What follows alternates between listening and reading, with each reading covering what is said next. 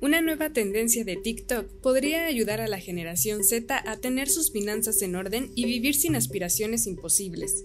Se trata del loud budgeting, que podría traducirse como ahorro escandaloso. Por el contrario de la tendencia de 2023 de lujo silencioso, que consistía en gastar mucho dinero en prendas sin que lo parezca, en esta los usuarios no dicen cómo están gastando su dinero, sino cómo lo están ahorrando.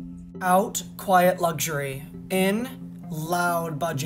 De acuerdo con la empresa de datos Estatista, el 40% de los usuarios de TikTok se encuentran entre los 12 y los 24 años, un rango que comprende a la llamada generación Z.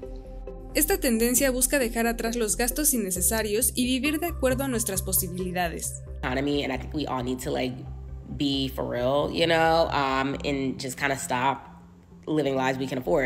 Para algunos expertos en finanzas, esta tendencia puede ser parte de un cambio generacional de los hábitos de gasto. Los usuarios hablan abiertamente sobre cómo y dónde deciden gastar su dinero para ahorrar lo más que puedan.